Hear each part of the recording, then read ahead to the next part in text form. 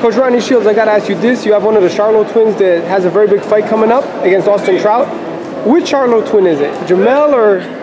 It's the champion, Jermall. Jermall. I'm sorry, am I the only one that gets him confused or is that it happens a lot? Uh, people always get them confused. I used to tell the difference when one had braids and one didn't. And then right. when they shaved their head, they threw me off.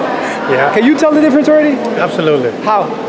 Well, I mean, I've been around them since they were 17 years old, so, uh, you know, it's easy for me to tell the difference between the two you're obviously in Houston, you're doing it big, they're doing it big, because wherever I go, and people, I mention Houston boxing, the name Charlo comes up. Absolutely.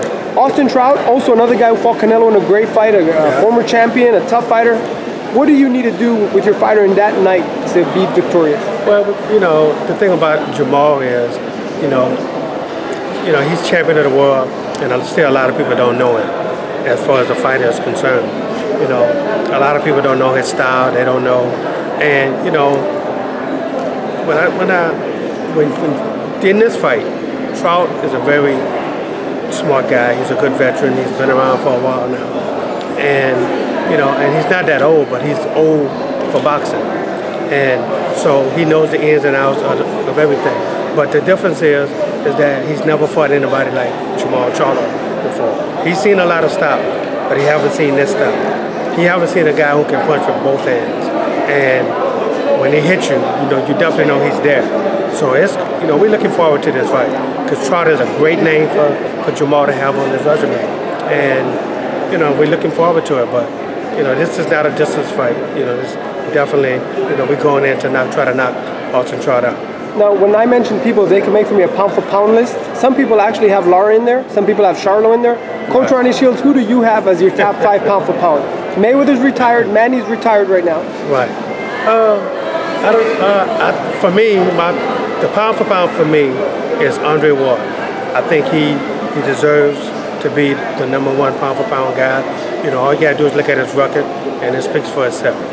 Number two, I would say Triple G, because you know the guy is just a phenomenal uh, middleweight. You know, he, he, you know, he's, you know, right now uh, nobody can beat him at that weight right now, and uh, from there, I don't know. It's, it's a, I think it's pick 'em from there, but you know, I mean, you can almost pick anybody for the next three, but I think the top two are definitely Andre Ward and Triple G.